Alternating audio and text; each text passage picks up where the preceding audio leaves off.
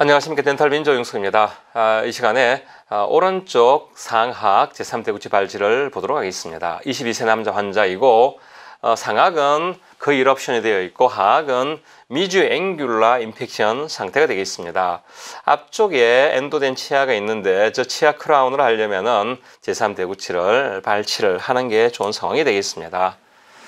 자, 아, clinical하게 봤을 때 앞쪽 치아에 수복이 요구되는 상황이고 아, 뒤쪽에 아, 제3대구치가 거의 노출이 되어 있습니다. 우리가 그 엑스레이를 보는 것보다 아, 이렇게 치아가 조금 더 선 모습으로 관찰이 됩니다. 100% 엑스레이와 임상소견이 잘 매치하지는 않습니다. 아, 각도를 보면 약 45도 정도의 mesioangulation을 가지고 있고 클래스 1 상태입니다. ramus는 멀리 떨어져 있고 포지션도 높게 있으니까 A가 되겠습니다. 어, 특이 소견으로는 canal이 어, root와 근접하고 있지만은 뭐 큰 문제는 아닐 것 같고요. dental caries가 있고 어, 뭐 특별한 나이도 뭐 20대 어, 초반이니까 그렇게 어려울 것 같지는 않습니다. 그래서 이 정도면은 그냥 레벨 1으로 보면 되겠습니다. flap을 열 필요도 없겠고 잘하면은 그냥 어, 뽑을 수도 있겠는데 지금 엑스레이를 보면은 sagittal sectioning이 필요할 것처럼 보입니다. 임상 소견으로 보면은 마치 어, 버티칼처럼 보이지만은 아마도 그냥 뽑으려고 했다면 앞에 치아가 손상이 되기 때문에 좀 더 확실하게 하려면은 sagittal sectioning을 하고 어, 뽑을 수가 있겠습니다. 거의 옵션이 되어 있기 때문에 flap은 열지 않았습니다. flap은 열지 않고 치축을 생각하면서 sagittal sectioning을 해서 어, 간단하게 발치가 된 모습이 되겠습니다. 자, 비디오로 한번 시청해 보시겠습니다. 자, 곧바로 어, high speed round bur를 이용해서 sagittal sectioning에 들어갔습니다.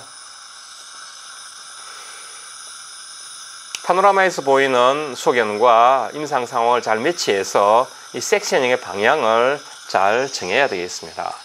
high speed bur로는 에나멜 포션을 주로 삭제를 하고 dentin 쪽이 이제 들어가기 시작하면은 어, 보통 저 같은 경우에는 low speed straight를 많이 사용을 합니다. 물론 access가 아주 좋을 때는 high speed bur로 충분히 깊게 sagittal sectioning을 시행하기도 합니다. 지금은 뭐 access가 그렇게 나쁘진 않아서 조금 깊게 high speed bur로 sagittal sectioning을 하고 있습니다.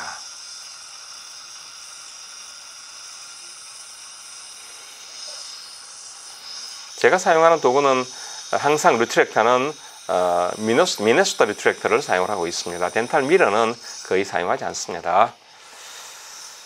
자, 지금은 그냥 접근 상태가 나쁘지 않아서 high speed만으로 sagittal section 끝을 내었습니다. 그리고 어, 치아를 분할을 시킵니다. 엘리베이터를 잘 집어넣어서 어, 너무 서두르지 말고 서서히 서서히 이렇게 distal root를 luxation을 시킵니다.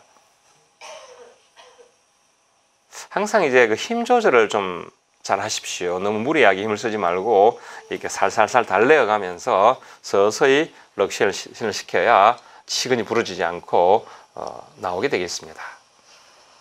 자, 화면이 좀 어두운데 예, 자 됐습니다. 지금 이제 점점점 mobility가 증가하고 있고 어, 잘린 distal 뿌리가 어, 발치가 되었습니다.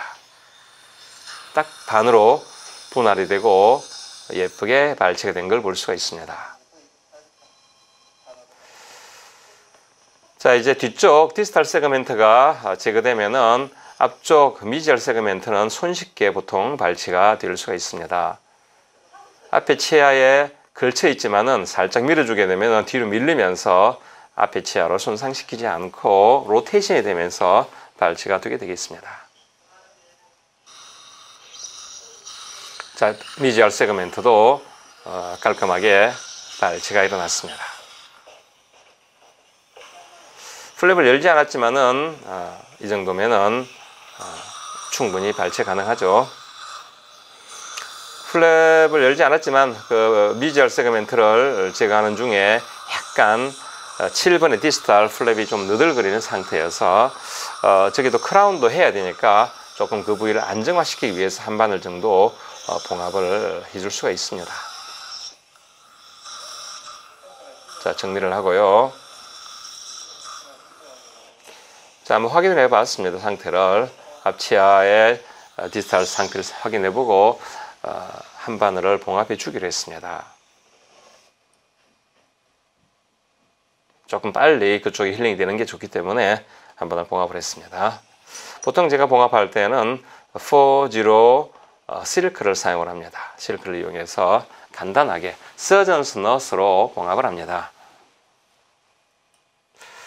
봉합을 할 때에도 어시스트가 어, mirror를 잡는 것보다는 어, 이렇게 미네소타 retractor를 잡는 게 훨씬 어, 시야를 더 많이 확보할 수가 있습니다. 가능하면은 어떤 수술을 할 때는 mirror보다는 좋은 retractor를 들도록 그렇게 하십시오. 자, 하악이 발치가 되었습니다. 아, 자, 아, 이 사진을 보면은 sagittal section이 아주 깔끔하게 잘 된 것을 볼 수가 있습니다. 정확하게 아, 두 조각으로 분할 분할을 시키고 예쁘게 발치가 되었습니다. 아, 수술 시간은 약 5분 정도 걸렸는데 제가 서두르지 않고 천천히 천천히 luxation 하다 보니까 시간이 약 5분 정도 소요가 되었습니다. 오히려 서두르면은 저 치근이 부러져서 더 낭패를 볼 수가 있습니다. 자, 여기까지 하겠습니다. 감사합니다.